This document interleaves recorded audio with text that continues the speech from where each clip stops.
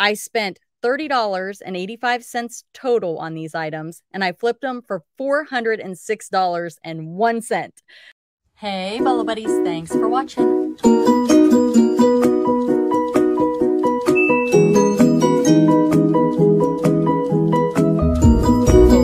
reseller. $600 for a My Little Pony. Amazing, right? All right, let's get started. Hey, Bolo Buddies, thanks for watching. All right, in this video, I'm going to talk to you about Bolo items. These are easier to find items, items that you can pick up really cheap just about anywhere. Thrift stores, estate sales, garage sales, the Goodwill bins, YouTube auctions, you name it. These items are easier to find and cheap. Um, I'm going to tell you where I got it, what I paid for it, and what it sold for. And I'm going to tell you how I flipped these bread and butter bolos, items that I sold for $35 or less on eBay. I spent $30.85 total on these items, and I flipped them for $406.01. So let's get started. And the first item I sold is this candle. And this is a vintage nativity candle. It's a pillar candle. And honestly, I thought this was going to fly out of my store, and this took forever to sell. So, uh, somebody asked me, you know, how long does it take for your items to sell? Honestly, I have no idea. I don't keep track of that. I don't care. I am a list it and forget it kind of girl. Um, the more you list, the less you worry about how long things are listed because even those older sales, they just come in and every day you're having consistent sales. So to me, I, I don't keep track of that. So I'm a bad person to ask, but I will typically say, oh, this sold really quick if it sold really quick. Or I don't really mention average sales, but like this one, I know it took a long time to sell. So I will let you guys know that. Um, I got it at a garage sale for $1 and I may have just had it priced kind of too high. Um, it was on sale for $25.99 and I ended up taking a best offer of $15. So this may have just been an issue of bad pricing on my behalf. So um, the buyer did pay shipping. So they were all in for $26.24 for this candle. These sold really fast. They are Clover Quick Yo-Yo makers. So they are for quilting. And I got these at a um, estate sale clean out. So I probably have about a buck in all of them. And I sold these for a best offer of $20 plus shipping. This little piggy right here is from the Boyd's collection. Uh, I will pick up Boyd's bears. A lot of people are like, no way, I'm not picking them up. I'm not wasting my time. They are major bread and butter. Some of them are, but there are the Boyd's minis. I have a whole video on it that sell for big money. So make sure you don't miss those. Um, some can sell for hundreds of dollars. This guy right here, I got out of the Goodwill bin. So I probably have about a buck in him, maybe less. And he's a piggy. He doesn't have his original tag. So I did price him lower. I ended up selling him for $7 on best offer plus shipping. But I will tell you, he sold really quickly, but I also priced him really competitively. Let me um turn the volume off on my phone here. Getting messages. All right. The next item came from a mystery uh T-bowl it's called a T-bowl. It's basically a reseller box, a mystery reseller box that I got from Auctions for You. I will link her down in the description of the video. If you're looking for reseller inventory, her and Donatella Bottolino both have a YouTube channel and I buy from both of them. They go back and forth on each other's channels and they sell to resellers. So definitely check them out. This gas cap right here, it's Harley Davidson. And if it would have been in like better condition, I could have gotten a lot more money for it, but it had some scratches and scuffs, which is typical for a used item. And um, I just disclosed the, that it was used. I probably could have buffed it out and cleaned it up. Like, I mean, it's kind of gross, but I'm I'm not that reseller. I just list it as is and show the scuffs, the marks, and the scratches. Now, my husband, he would want to like sand it down or whatever you do, buff it out. And I'm just like, nope, I'm not doing it. I'd rather take less money than spend my time cleaning it up. I sold this for $18.60 plus shipping. Let me know down in the comments what kind of reseller are you? Are you a clean it up or sell it as is? The next item is this patch, and you guys are probably going to think I'm nuts, but I got this at the Goodwill bin, so it was probably like 10 cents. It is a Finding Nemo Dory iron on embroidered patch. And it's just a simple patch, but it's Disney and it cost me next to nothing. And I sold this on best offer for $5 plus shipping. Um, this next item uh, was purchased by Hot Toys Summer in the City, and this is her eBay store, and I will link it down below in the description.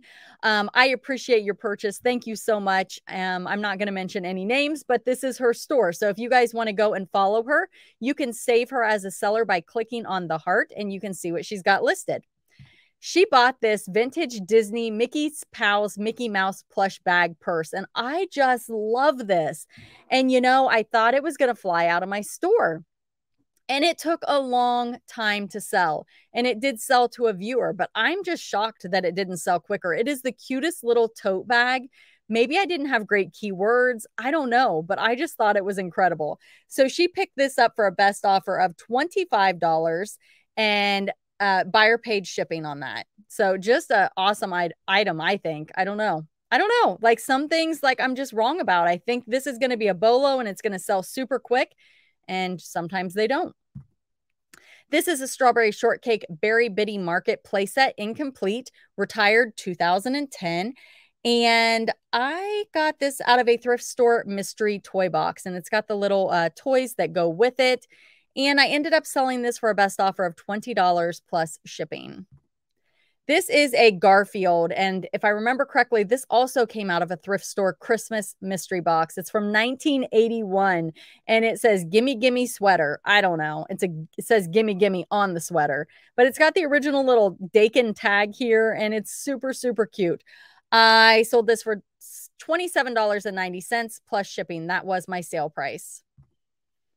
This bunny bowl is adorable. I don't I don't remember where I got it. I don't know what I paid for it, but it's pretty cool. I'm going to guess I probably paid a buck or two for it because that's usually what I pay for things. I don't know what this says. It's probably the artist. I just thought it was cute, so I bought it. Um I sold this for a best offer of $20 plus shipping. The next item is this keychain. It is a Wonder Woman keychain, DC superhero girls plush. It's like a backpack clip. And I think this one also sold to Hot Toys Summer in the City, if I remember correctly. Uh, took a best offer of $8 plus shipping on this one. I've got this Hallmark, the Polar Express plush Santa. It's a talking stuffed Christmas toy. And I've got a video down below that tells how or shows how it works and that it works. And he sold pretty quickly. This came out of the plush lot that I got from a viewer. Um, she reached out to me and said, I have all this plush. I need it out of my house tomorrow. If you can come get it tomorrow, you can have it all for free. So I made arrangements and I'm like, oh, I do not need all this plush. But I'm like, that's just too good to be true, right? Well, it was true. And I went and picked it all up and I've got it all listed in my store and the items are selling. So, very, very thankful for that. I will link her down in the description of the video and you guys can check out her eBay store. And let's see $15.50 on this and the buyer paid shipping.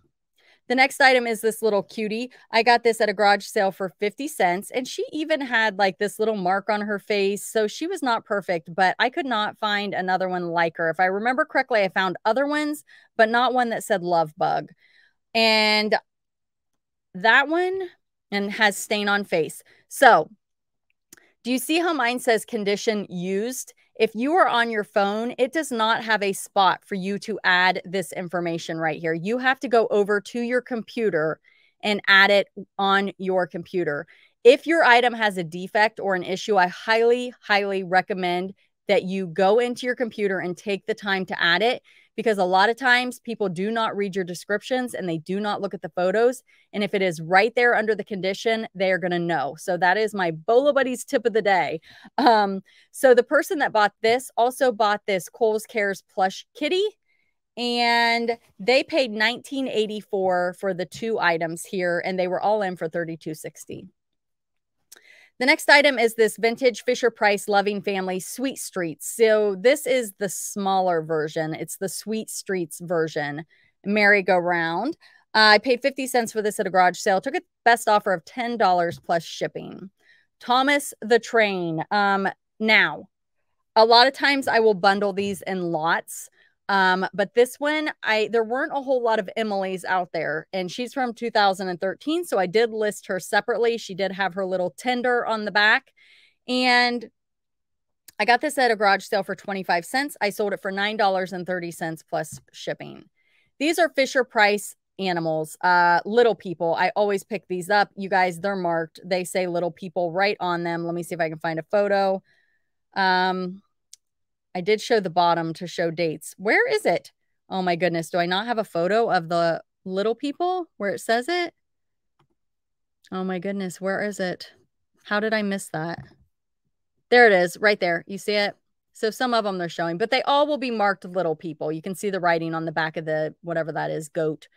And I got these at the Goodwill Bins and I sold these for $11.16 plus shipping. I always pick up Fisher Fry Fisher Price little people. I actually have a huge tote full of these that I need to list and I just keep throwing them in the tote and when it's garage sale season, I find them all the time and I just bring them home, throw them in a tote.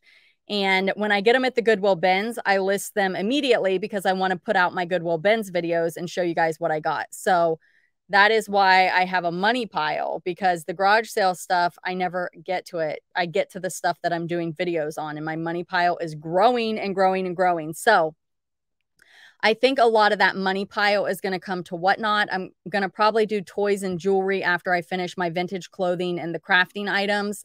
And I'm just going to start to, you guys know that I'm like a long tail. I price my stuff up and I take offers and I'm a long tail res- reseller, I call myself, because I like to get a good value out of my items. I don't like to crash the market and bring down um, the value of things. So I keep my prices, you know, not on the super high end, but more in the medium to high range. I don't, I'm not the lowest on eBay ever. Um, so whatnot is totally different. You know, I'm selling things much cheaper. Um, but I'm moving things quickly and I kind of like that. So it's kind of a good balance for me. And I thought it would bother me and it doesn't. Um, I really enjoy it. So follow me on Whatnot. I am Bolo Buddies down um, over on Whatnot. Down in the description, if you want to join with my link, you can get $15 to shop. You do not have to shop from my whatnot show you can shop from anyone's. I mean if you want to use it at my whatnot show that would be incredible but no pressure to do that. But you do get that 15 bucks if you use it to join and if you want to sell on whatnot there's another link. So after you sign up as a buyer you can use the seller link to apply to sell. And um, that will say i referred you and from what i hear you're more than more likely to get accepted um, I know it depends on which category you apply for. I am in vintage and estate, I believe. I think that's what I applied for. So, but um, certain categories are saturated, and I think that it's a little bit harder to get into some of those. So, this is a Kurt Adler Peanuts Santa Snoopy Christmas plastic light set. And I got this out of a thrift store mystery box. Took a best offer of $15 plus shipping, and that one sold really quick. I don't know if you guys saw this video, but I bought some wigs at a garage sale and I got a really, really good deal on them. And this one actually sold for $15 plus shipping. It's a vintage boy doll wig playhouse from Japan, made in Korea. I have no idea. I just wrote whatever it said on the tag here and uh, took a best offer of 15. The buyer was all in for 22.10 and I got about a quarter in that. These are Hanes women's size 10 high cut panties and another item that just flew out of my store. These came from an estate sale, uh, probably a dollar or less in them. And you guys, they're wedgie free. I mean, come on, everybody needs wedgie free, high cut cotton, no write ups, right? Come on. Sold these for $14 plus shipping. The next item here is this uh, VTech uh, GoGo Smart Friends pink bed. And I probably used Google Lens to figure this out. If you guys aren't mm. using Google Lens, definitely put that on your phone. It's an app, it's a free app. I have a video on it. Search Google Lens Bolo Buddies. It'll pull it up and I'll show you exactly how to use it. It will be your best friend when you are out at garage sales and trying to find comps on items that you don't know how to identify. I mean, this is a hard thing to find because it's not really labeled. And I got this at a thrift store for a quarter, took a best offer of $5 plus shipping. Probably something you guys wouldn't mess with, but I did. This is um, vintage five Asian Japanese birds die cut bookmark set. These are incredible. I these were long tail. They took a long time to sell. I actually had two sets. One set sold super quickly, and this set was like forever. I don't know if I had bad keywords or what, but they are stunning, just stunning. Garage sale for a buck, and I sold these for $12 plus shipping. Somebody I think got a really good deal on those. This is a Disney Pixar Toy Story Rex opposable talking figure. I got this out of a thrift store mystery box and I sold this for $15 plus shipping. This is a vintage pound puppy plush. It's a stuffed animal. And this one came from the Goodwill bins. So, you know, it's a dollar eighty-nine a pound at my bins, so probably less than a dollar in this. Sold it for $11.16 plus shipping. This next item came out of a mystery box, um, a T-bowl. I, did I talk about that at the beginning? I think I had another item from her at the beginning. Yeah, I had the gas cap from her. I think this was in the same box. And these uh, vintage Pokemon balls, they're I I don't know what they're from, but they're from 1999. They're harder to find. I had eight of them. $28 plus shipping. And that was definitely awesome. So, again, auctions for you. She's linked below. Here's another piece that came out of that box. And this one, I had no idea what it was. I tried Google Lens. I could not figure it out. The only thing I could figure out is this probably is from a playset and it's probably a replacement part. I was able to identify that this was Batman and it was Bruce Wayne. And I put that in my title and I was like, I hope somebody uses Google Lens to figure this out. And you guys, it sold super fast for $12.40 plus shipping. So um, that's another way that Google Lens can help you. If you have that crisp white background and somebody is searching Google Lens for something, it will pull your item up. So even if you don't have a great title, an image search probably picked it up. Nancy Tillman Polar Bear plush. This one came from my free plush lot that I got from a viewer, and I sold this for $12.40 plus shipping. This next item are these vintage 1984 strawberry shortcake, orange blossom, and blue muffin. This came from a garage sale. I paid about 50 cents for these. Took a best offer of $19 plus shipping. And the last item are these vintage glass candy ornaments. Um, they are really, really cute. They're from 2002. There's four of them. They came out of a thrift store mystery box. So my cost of goods was probably a dollar or less. And I sold these for $14.75 plus shipping. So that is how you do it. That's how you turn 30 bucks into over $400. And, um, it's just amazing. Reselling is so fun. I mean, I get just as excited about a small sale as I do a big sale. And the ones that I get really excited about are the things that have been sitting and sitting and sitting, and then all of a sudden it sells. But I also get really excited about the things that sell fast. I think I just get excited about every single thing that I sell. So thank you so much for being here. Thank you for watching. Um, the gal that gave me the free flush, not flush, the free plush. I am going to link her down below in the description and you guys can check out her eBay store. Thank you so much for being here. Thank you for watching and I will see you at the next one.